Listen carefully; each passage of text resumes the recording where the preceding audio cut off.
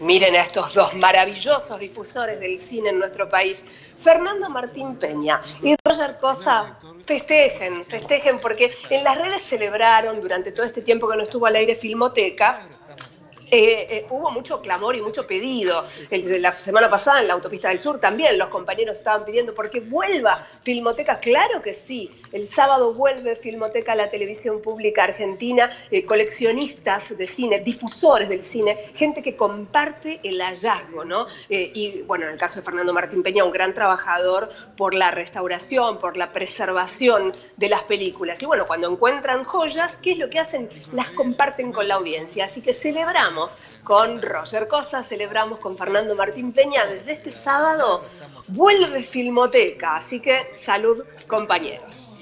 Y hablamos, Gaby, de un estreno, de una película documental de Ernesto Fontán. Exacto, es Tarará, la historia de Chernobyl en Cuba. Esta es eh, la película que se va a estrenar el próximo 2 de septiembre. Es la ópera prima de Ernesto Fontán y con él hablamos. Hasta el momento, las autoridades soviéticas solo reconocen dos muertos y 197 heridos. Esta es una película de género documental que cuenta la historia de los miles de niños y niñas ucranianos en su mayoría y rusos y bielorrusos también que fueron afectados por el accidente nuclear de Chernobyl y que en vuelos eh, periódicos y, constantes durante el lapso de 20 años fueron viajando a Cuba para atenderse en un programa de atención médico integral totalmente gratuito que funcionó desde el año 1990 hasta el 2011.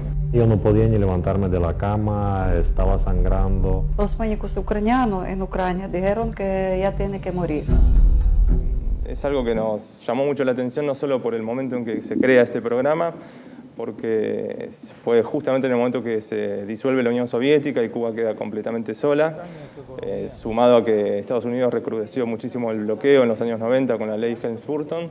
Entonces dijimos, es una historia apasionante y totalmente solidaria, viajamos a Cuba en un equipo de ocho personas para registrar entrevistas a los que fueron niños de Chernobyl curados en Cuba, que están muchos viviendo allá y, a otras personalidades de la cultura y la política cubana. Yo salí de mi país donde estaba nevando y llego a Cuba que es un calor. Esas enfermeras de Tarará eran las que estaban las 24 horas con ellos y cómo se pegaban ellos a las enfermeras y a los traductores, pero aquellos niños eran a llanto porque no se querían ir. La película se estrena el 2 de septiembre por la plataforma Cinear pero vamos a hacer un preestreno el 24 de agosto por la plataforma eh, Vivamos Cultura, totalmente gratuita, así que los invitamos a todos a verla.